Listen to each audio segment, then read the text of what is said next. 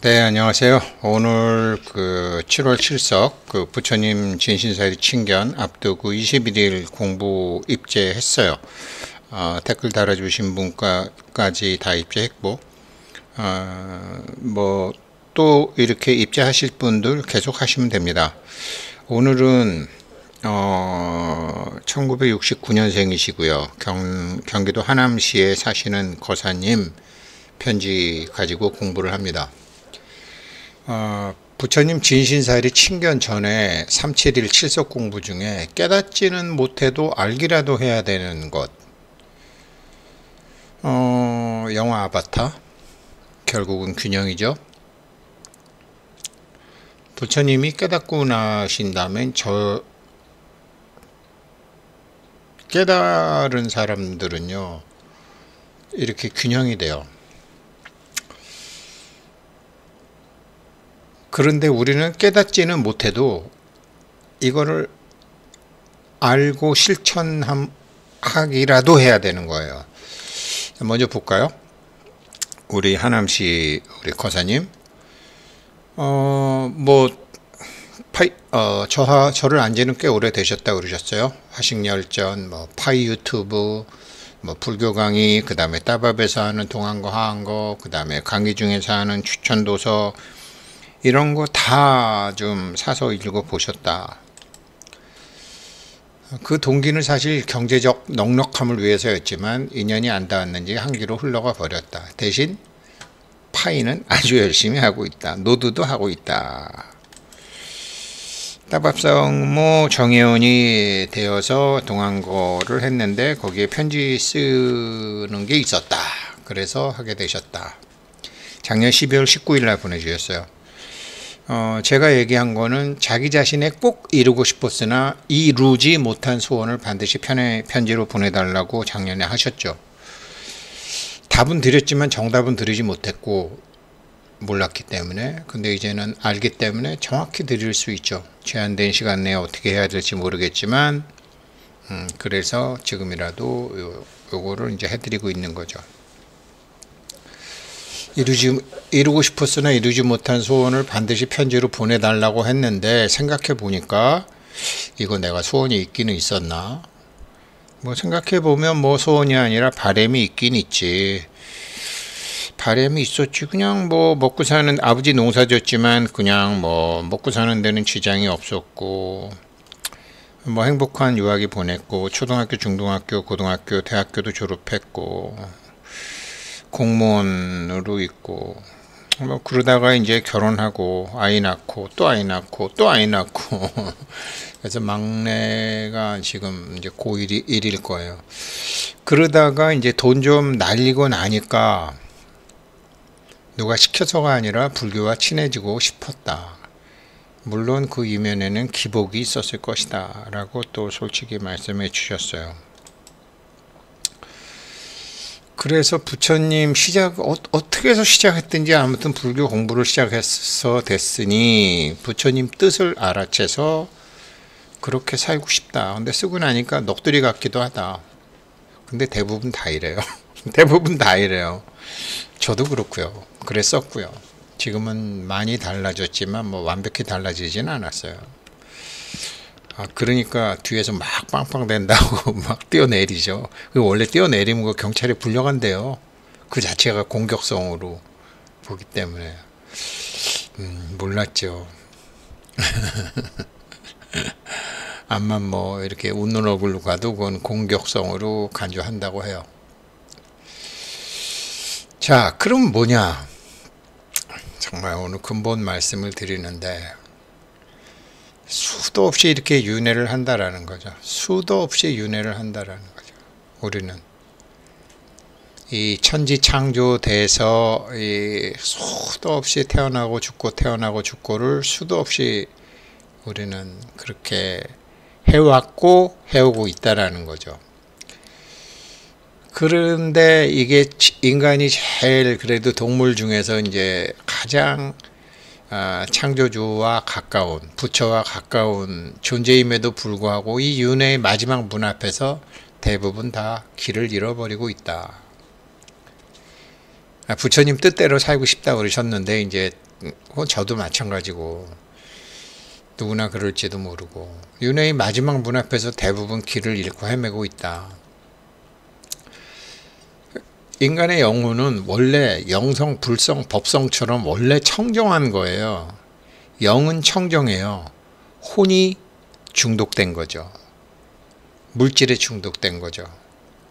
태초에 뭐 식물로 그 다음에 동물로 사람으로 이런 사람으로 저런 사람으로 또 중간에 간혹은 어, 천상 세계에도 갔다가 또 왔다가 어찌됐건 인간의 영혼은 어떤 형태의 중독이 되어버렸죠. 원래 청정한데. 그래서 제가 어제 말씀드렸잖아요. 다시 1, 2, 3, 1, 2, 3을 지나서 일주문 밖으로 물질 세계에 나왔다가 자기 혼자 힘으로 일주문 안으로 돌아가야 된다. 그 돌아가는 길을 찾는 찾으면 그 사람은 어마무시한 사람들이 된다. 물론 도와주는 존재들이 있다. 부처님에게도 도와주는 존재가 있어서 깨달음을 얻으실 수 있었던 것처럼. 근데 이렇게 물질 세계에 자꾸 태어나고 죽고 태어나고 죽고 하면서 물질 세계의 삶에서 감정에 중독되어 버렸다. 그러니까 정생지격, 감정이 남아 있으면 지혜와는 멀어진다. 그래서 우리 영혼은 우리 영혼은 아, 가슴 바로 밑에 위하고 사이에 실제로 존재하고 있는 우리 영혼은 아, 감정을 저장하고 있는 빅데이터죠. 수억만 년, 수천만 년, 뭐 어, 화성에 살았건, 저, 뭐 보이지 않는 저쪽 먼 세상에 살았건, 우리가 형태 가진 몸을 갖고 살았을 때와 형태 없는 몸을 갖고 살았을 때 느꼈던 그 감정은 고스란히 데이터베이스로 저장이 되어 있고 거기서 깨닫지 못한 상태에서 행한 행동이 천안통, 천이통, 신족통, 타심통, 숙명통으로 순간순간 튀어나온다. 지금 그렇게 되고, 되고 있는 것이 이게 윤회다. 그런데 이거 영혼이 이렇게 중독되다 보니까 아까 여기처럼 이렇게 아까 여기처럼 이렇게 수평을 이루는 저울이 아니고 한쪽 한쪽만을 하는 이런 기울어진 제울이 저 수없이 윤회해도 기울어진 저울이 저울이었다. 이게 맞는 줄, 이, 아, 이렇게 이게 맞는 줄 알고 살다가 죽었는데 아니네 그럼 반대편 같고 이게 맞는 줄 알았는데 또 아니네 그럼 반대편 오고 이렇게 수도 없이 일주문 밖에서 두 개 중에 하나를 고르면서 살았다라는 거죠. 이게 신신명 첫 구절에 나오죠. 지도문안 아니 도 아는 거 별로 어렵지 않아. 유혐 간택 두 개 중에 하나 고르는 것만 안 하면 돼. 단막증에 단지 요거 좋고 요거 나쁘고 그렇게 하는 것만 그런 비교해서 하나만 고르는 그런 짓만 안 하면 통연 명백 지도문안 유혐간택 단막증의 통연 명백 균형을 이루고 난 다음에 하는 거죠. 영혼은 수없이 윤회에도 기울어진 거울이었다. 부처님 돌아가시 부처님이 혼자 수행하시기 전에 자이나교, 브라만교도 성자들한테 가르침 받았지. 근데 그 사람 가르침도 결국은 그 사람들 가르침도 결국은 저걸 버리고 이것을 가져라고 두 개 중에 하나를 선택하는 것이었다. 그리고 결국은 어, 뭐 도인이 되거나 뭐 신선이 되거나 하는 그런 그런 거였다. 성인들의 가르침도 그랬다. 그래서 그걸 그것이 아닌 것 같았다. 그래서 고타마 시탈타는 고타마 시탈타의 영혼 속에는 이게 지금 기울어진 저울에 대한 이게 목마름을 해소할 어떤 소리 없음, 소리 없는 아픔, 무엇인가 채워지길 갈망하는 어떤 공백이 있는 거를 영혼 속에 어떤 공백이 있는 거를 부처님이 아주 뼈저리게 느낀 거죠. 뭐지 뭐지 이게 뭐 어, 아버지가 막 여자로 채워줘도 안 돼, 돈으로 채워줘도 안 돼, 동생하고 싸워서 얻은 미인 마누라도 안 돼, 이 스승의 가르침으로도 안 돼, 저 스승의 가르침으로 안 돼, 고행을 해봐도 안 돼. 뭔가 이 양 젖꼭지 사이에 있는 가슴 속에서 계속 어떤 음, 소리 없는 아픔, 목마름을 해소할 그런 뭔가 이게 뭐 뭔가 빈자리가 있는데 이게 채워지질 않았다. 그리고는 결국 알았다. 영혼이 자기 영혼이 어떤 슬픔, 침체, 혼돈, 뭐가 허전함 이런 거물 구름을 벗어나 찬란한 광명의 빛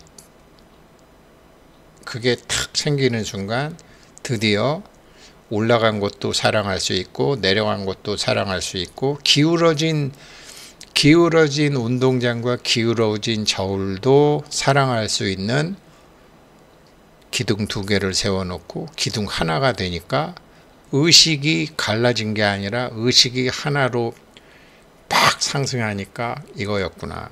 그 갈라짐 속에는 삶과 태어남과 죽음이 있죠. 그래서 고타마 고타마 시탈타는 죽었지만 부처님은 죽지 않죠. 죽지만 죽지 않죠. 우리도 그렇죠. 이걸 깨달으신 거죠. 부처님이.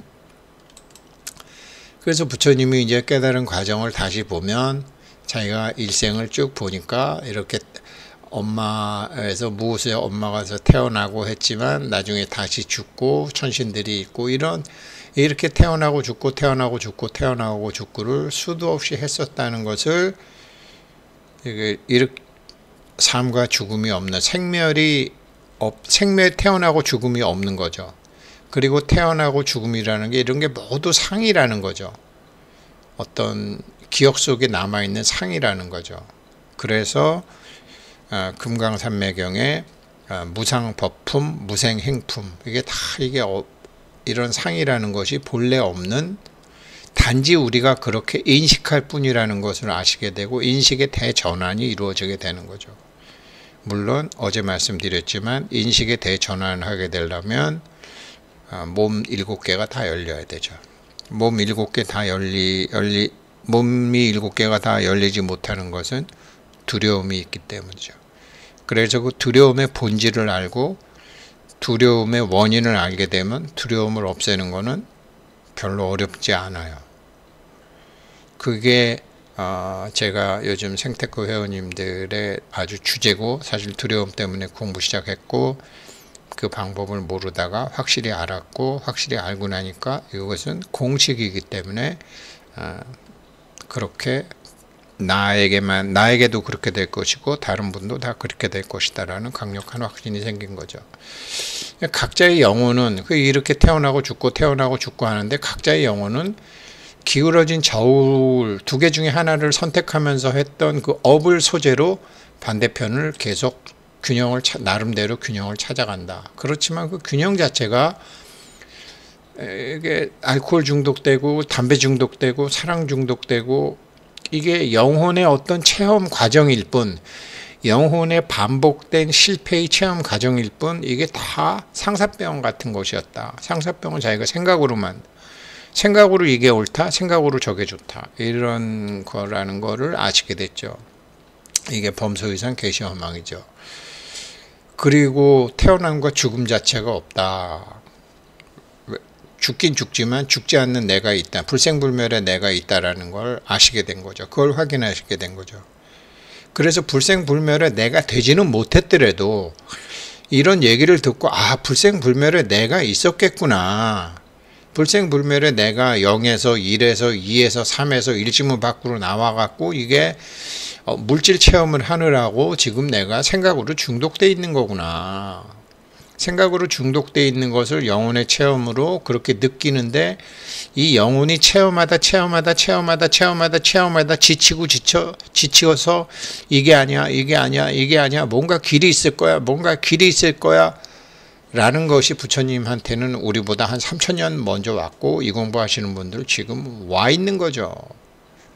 저도 그렇고 오늘 편지해 주시는 우리 이거사님도 그렇고 그래서 이게 내가 몸받아서 태어난 이유가 내가 살면서 체험하고 겪었던 그러니까 나의 영혼이 나의 몸을 통해서 체험하고 겪었던 모든 일이 나의 영혼이 나의 몸을 통해서 체험하고 겪었던 모든 일이 알고 보니까 본래 부처가 청정심이 내 안의 열애가 주인공이 내 안의 부처가 나의 영혼한테 이제 집으로 와야지. 이제 물질 체험 끝나고 빨리 와야지라고 메시지 보낸 거였다.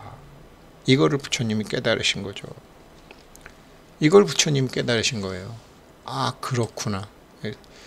그래서 집으로 가려면 영혼이 스스로 만들어 가지고 나온 그 숙제를 다 맞춰야 되는 거죠. 어제 소개해줬던 분, 분은 숙제가 많으셨죠. 이분, 이분도 이제 여기, 근데 그 숙제는 형태만 다르지 내용은 다 똑같아요. 이분 숙제는, 이 거사님 숙제는 저랑 비슷해요. 일주문이죠. 먼저 뭐냐면, 뭐, 응? 농사 짓는 아버지 때문에 뭐 학교 들어가고 뭐 어, 공무원 시험 보고 뭐 대학 시험 보고 학교 입학하면 어떻게 되죠? 합격은 좋은 것이고 불합격은 나쁜 것이잖아요. 성적이 좋으면 좋은 것이고 성적이 나쁘면 나쁜 것이잖아요. 공무원 시험 붙으면 좋은 거고 떨어지면 나쁜 거잖아요. 이런 기둥 두 개 중에 하나를 계속 고르면서 살아왔잖아요. 이게 아주 당연한 거였잖아요. 저 자신도 그렇지만. 그리고 결혼을 했어요. 이 여자가 좋을까? 저 여자가 좋을까? 그리고 아기를 셋 낳았어요. 음, 이제 고1 됐죠. 아들 낳으면 아들 낳는 대로 좋고 딸 낳으면 딸 낳는 대로 좋았, 좋았겠지만 그래도 분명히 아들과 딸의 남자와 여자에 대한 선택이라는 게 계속 있었죠. 일주문 밖에서 계속 우리는 살았으니까 승진 승진이 좋고 건강하게 좋고 다 좋고 이분의 이분의 영혼이 체험한 거 똑같아요. 공무원이니까 승진 탈락. 인사고과 점수 높은 거 낮은 거 돈 버는 거 돈 날리는 거 이렇게 일주문 밖에 있는 거를 다 했죠. 돈 벌어서 행복하게 사는 거 경제적인 넉넉함 음, 같은 거는 포기하고 그냥 가난한 공무원으로 사는 거 선택하는 거죠. 선택했죠. 결혼 전에 번 돈 주식시장에서 다 날려버리고 아버지한테 3천만 원 빌려갖고 신혼살림 시작해서 그러고 이제 했는데 뭐 한 20년 지난 다음에 또 투자해가지고 완전히 또 돈을 홀라당 다 날려버렸다. 누가 아, 몇 천만 원 이때 날려 먹었다. 결혼 전에 그렇게 당하, 당했는데 누가 나한테 또 돈 번다는 정보 줘서 또 날려 먹었다. 그래서 이분이 깨달았대요. 주식으로 돈 벌기는 어렵다. 아, 그래서 제가 이건 없거든요. 너 일좀 얘기하지도 마. 그게 깨달음이냐? 깨달음은 어렵다, 쉽다도 넘어서는 게 깨달음이에요. 지식으로 돈 벌기 어렵다라고 깨달은 거는 또 기둥 한쪽 붙잡고서 자기가 깨달았다고 착각하는 거예요. 얘네 이거사님 얘기하려니까 전부 제 얘기를 해가지고 참 저도 민망한데 뭐 어떻게 보면은 둘이 처지가 비슷하니까 편하게 얘기할 수도 있죠. 이걸 넘었으면 주식으로 돈 벌기 어렵다 대신 주식으로 돈 벌기 쉽다가 돼요. 대박은 좋은 것이고 쪽박은 난리다는 선택, 선택을 넘었으면 대박 치시게 돼요. 이익과 손해 중에 손해는 나쁜 것이고 이익은 좋은 것이라는 거 넘어서게 되면 이익 엄청나게 보, 보시게 돼요. 이게 둘이 아닌 둘이에요. 이게 둘이 아닌 둘이에요. 우리 이 공부하는 거예요. 이게 일주문이에요. 이거를 주식으로는 돈 벌기 어렵다 쉽다를 넘어 넘 이게요. 이게 자기 영혼이 두 개 중에 하나 골라서 어느 거를 골라도 결국은 만족하지 않다라는 자기의 불성이, 자기의 주인공이 자기의 영혼을 통해서 공부시켜 준 거예요. 아, 그런데 주식으로는 돈 벌기 어렵다라고 깨달았다 그러면 다음 생에 이제 또 작살 나든지 한 번 더 속든지 하는 거예요. 왜? 균형을 맞춰야 되니까. 이거를 주인공하 이거를 주인공하고 쇼부를 봐야 되는 게 우리의 삶이에요. 그래서 제가 오늘 이제 음, 뭐 다른 분들 편지를 어, 이거사님 어느 정도 뭐 아셨을 것 같고 지금 그거 하는 거거든요. 우리가 양변을 떠나는 거. 제가 오늘 이제 진신사리 친견 어, 여기 이거사님도 아까 제가 축원 이렇게 할때 그러는 거죠. 이거사님 말고도 이제 여러분들이 명반이 있을 거 아닙니까? 7월 7석 이제 반야 관행 주인공 기도 동참자 제가 이렇게 딱 만들어서 하는데 명단 한번 읽고 명단 딱 손에 들고 제가 뭐 하겠어요? 관하죠. 왜? 명단 자체에 사람들의 뜻과 마음이 다 들어가 있잖아요. 뜻과 마음이 다 들어가 있고 제 의식 속에 들어와 있잖아요. 그러면 거기에 있는 이거사님은 요번에는 아버님은 안 하셨던데 작년에는 어, 아버님 돌아가신 아버님 무인생 이익 정보 그다음에 세세일책 2년 네, 하신 분들은 제가 다 했어요. 그러면 딱 이 명단에 있는 분들이 명단에 올리신 분들의 주인공이 있을 거 아니에요. 뭐든지 작용이 있는 건 성품이 있으니까 주인공은 성품의 다른 말이니까. 그러면 제가 어떻게 해요? 명단 딱 들고 나마스테 일단 하는 거죠. 나마스테. 그리고 저의 나, 나마스테라는 말 자체가 뭐예요? 나의 주인공이 당신의 주인공 얘를 올립니다. 아니에요. 자, 오늘부터 공부 시작합니다. 이렇게 하는 거죠. 그러면은 일주문은 밖에 있는 이렇게 하는 이거사님은 어떻게 해야 돼요? 기후생 이거사님을 자기가 딱 해놓고 아 내가 이걸 모르고 정말 어 평생 두 개 중에 하나를 고르면서 살았는데 이 짓은 지난 생에도 이번 생에도 이렇게 하는 거 보니까 지난 생에도 그렇게 했나 보다. 내가 나의 영혼한테 한 번도 눈길을 주지 않, 않았구나. 그러면서 자기가 딱 떠오른 기후생 이거사님 주인공한테 남았을 때 하는 거예요. 거기서 참여하고 거기서 미안하다 하고. 그리고 내가 뭐 편지에도 적지 못하고 하지만 사실은 이러이러한 여러 가지 불균형이 있어. 근데 나, 내가 풀 수 있는 게 있고 내가 계속 못 푸는 게 있어. 이루고 싶었지만 이루지 못하고 있는 게 있어. 그게 돈, 돈, 돈도 좋고 승진도 좋고 뭐, 어? 고등학교 다니는 아들 뭐 전교 1등해서 뭐 누구처럼 되는 것도 좋고 다 좋아요. 주인공. 나도 그거, 그거 너한테 맡길게. 이렇게 되는 거예요. 관하면서. 그리고 오늘 제가 이제 오늘 이거 공부하시는 분한테 아직 책은 안 나왔는데 이거 제가 3년 고민한 거거든요. 이거 금강경 인생 수업. 아마 지금 강의하는 내용 중에 90% 정도는 여기 들어가 있을 거예요. 이거 어, 인터넷으로 이 다음 주 수요일 날 출고하는데 이거는 이제 출판사에서 저한테 두 번이나 이게 제가 뭐 원고를 몇 번 갈아 엎다 보니까 출판사는 돈이 막 두 배, 세 배 들었을 거 아니겠어요? 편집비 뭐 다. 그러면서 저보고 좀 뭐 홍보 좀 해달라고 그러는데 뭐또 인터넷 보니까 뭐 홍보해 주겠다고 뭐 메일도 들어왔던데 저는 어떻게 해야 돼요? 금강경 인생 수업도 사람들의 마음이 들어가 있고 제 마음이 들어가 있어요. 그럼 어떻게 해야 돼요? 관하는 거죠. 그리고 이거는 성품이 있고 주인공이 있으니까 금강경 인생 수업이라는 책의 주인공한테 남았을 때라고 한 다음에 사실 이 책 쓰는데 우리 회원님들이 100만 원씩 내주신 분도 몇 분 계시고 정말 내가 평생 헤매든 거 내 딴의 금강경으로 정리한 거거든. 나는 이 책이 어떤 사람한테 도움이 되는지 몰라. 그렇지만 이게 누구한테 도움이 되는지는 네가 더 잘 알잖아. 미국 사람이건 일본 사람이건 한국 사람이건 기독교 신자건 불교 신자건 스님이건 아니건. 야 이거 출판사에서 나한테 부탁하는데 물론 나도 신경 쓰겠지만 이거 네가 할 수 있잖아. 야 허리 작살 내고 말이지 어, 척추 측만증 나고 그러면서도 이거 내가 계속 원고 갈아엎은 게 다 네가 시켜서 한 거잖아. 네가 좀 너한테 맡긴다. 나는 계속 이거 공부할래. 이게 기도예요. 이게 주인공 기도예요. 그래서 제가 이거사님 편지로 뭐 책하고 기도하는 거 얘기했는데 우리는 아직 그 균형 상태에 가지 못했지만 그 균형 상태에 이미 가 있는 나의 주인공이 있다니까요. 모든 불균형을 균형으로 맞춘다니까요.